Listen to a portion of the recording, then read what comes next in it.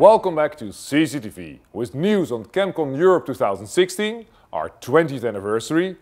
Also in today's headlines, the Q&A on REACH, highlights of the social event and an interview on Taiwan. But first, the Q&A on REACH.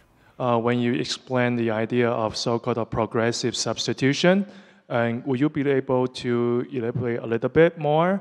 And also any interpretation or translation from the from industry uh, perspective perspective, how can you translate into the process of preparing your authorization process? Progressive substitution is the, is the language used in the regulation about authorization. And progressive substitution is something we see as ensuring, under very strict conditions, business continuity, basically.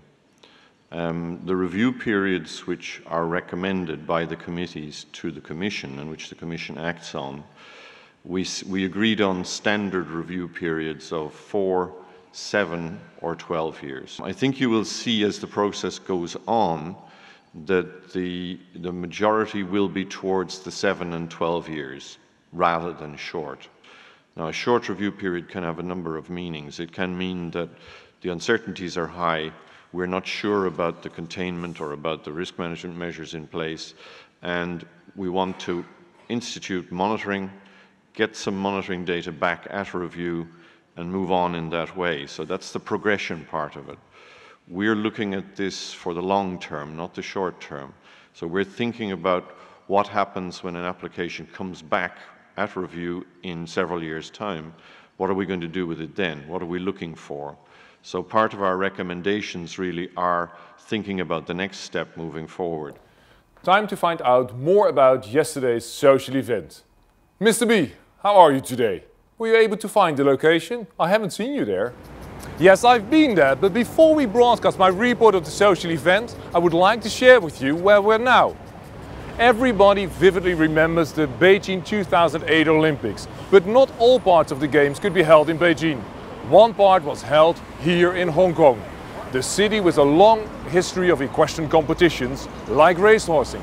ChemCon Asia's 2015 social event was held at the Hong Kong Jockey Club. Horse racing in Hong Kong commenced in 1841 with the arrival of the British, who immediately set about draining a malarial swamp to form a racetrack at Happy Valley.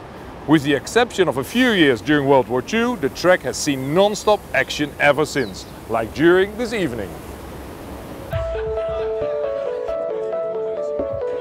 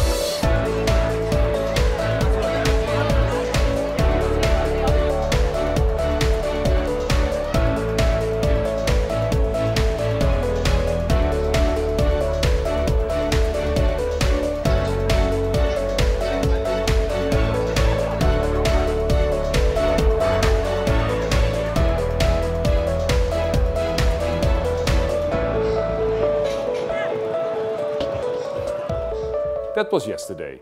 Now we have again a full day of interesting presentations. Our interview today focuses on Taiwan. As already discussed during the interview I had with Mark Granda on Taiwan, regulatory affairs in Asia is no joke.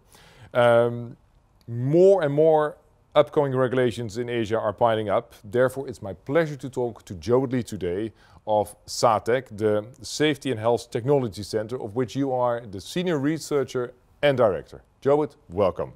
Sahtech is somewhat unique. You work both for the government and you support the industry. Could this work as a role model for other countries? We recognize the importance of uh, stakeholder work together and Sahtech can be, be a bridge among those stakeholders with strong technical background so we don't need to dodge around and go to the wrong direction. For industry, they're always hesitant to share confidential business information, CBI, which they have to do to governments. Mm -hmm. um, but how is that information protected? Well, um, I can assure you uh, CBI is on the top, top priority of both agencies when we are dealing with these implementation processes in here. Right now, substance information, identity, CAS number, ingredient and percentage and usage can be protected by CBI arrangement with your application. And uh, we also are working on to uh, disconnect the uh, uh, uh company's uh, identity from the substance on our uh, national inventories there. But at the same time, we need to take, in, we need to take care of the uh, general public disclosure uh, requirements over there. So it is a balanced way. Please watch the complete interview on our YouTube channel and website. This brings me to the statement of the day. All chemical control legislation is primarily developed for ensuring high standards for environment, health and safety. Today's statement of the day is about chemical safety and will be presented by Deepak Mugadur from India. Welcome. Thank you. Can you tell us more about chemical safety? Traditionally, companies have used chemical safety to protect their workers, their community and the environment from chemical hazards. But the risk doesn't stop there people misuse these chemicals for mass destruction. So, to protect these chemicals from people, we need chemical security. And your statement is? Are you ready for chemical security? I hope so. Please let us know what you think about this. Uh, Deepak, thank you very much. Thank you. Today we start with Japan and Southeast Asia.